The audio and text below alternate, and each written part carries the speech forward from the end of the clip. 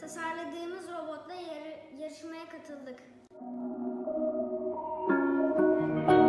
Takımımızın ismi Billy. Yarışmada pankartla tezahürat yaptık. Enerjik olduğumuz için enerji ödülünü